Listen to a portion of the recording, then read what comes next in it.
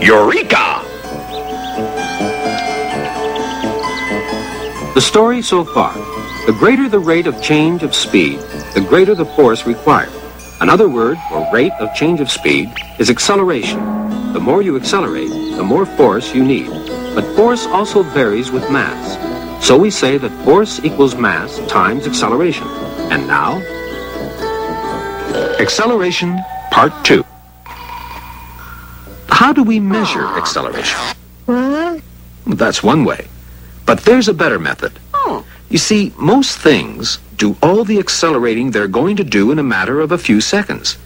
So it isn't very practicable to measure their increases in speed in kilometers per hour. Take this locomotive, for instance. It's a very old steam engine, and it can only do 36 kilometers an hour. But its acceleration is surprisingly good. It can get up to this speed in only 10 seconds. Yes, it is impressive. But can you answer this? How far will it have gone by the end of the first second? Or by the end of 10 seconds? Give up? That's what comes of mixing speed in kilometers per hour with time in seconds. We've got to reduce it all to seconds, and we'd better reduce the kilometers to meters as well while we're at it. The train's top speed is 36 kilometers an hour, which is the same as 36,000 meters in an hour. Since an hour contains 60 minutes, we can divide 36,000 meters by 60 to find out how many meters it goes in one minute.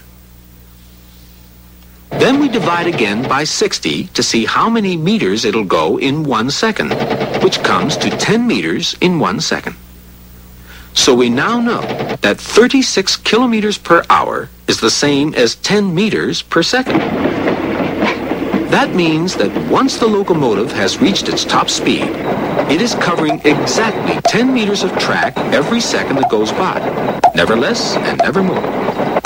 But remember, this is speed, not acceleration. Acceleration means that with every second that passes, the train advances an increasing number of meters until it's eventually moving at a speed of 10 meters per second.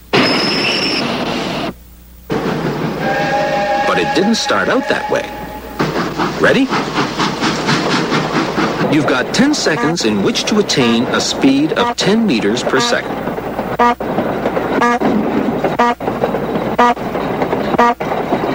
Very good. Now, let's replay that and analyze what happens.